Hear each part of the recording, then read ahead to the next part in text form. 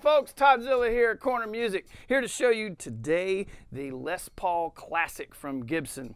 It's got all the stylings of the Les Paul that we know and love with a few modern twists. You have 61T and 61R burst buckers. You also have some really cool coil taps here that I can show you. You can get into on your bridge pickup, you've got a coil splitter.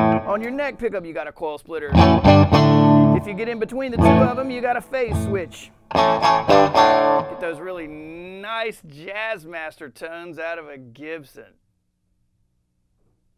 And no matter where I am on my switches, I can pull this switch here and it takes me right to the bridge pickup full on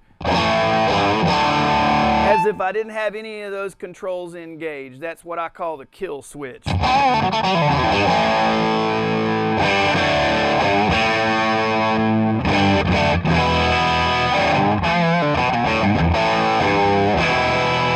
Great sound in Les Paul. It's available in four finishes translucent cherry, which is this, the honey burst, the heritage cherry sunburst, and ebony, good old black.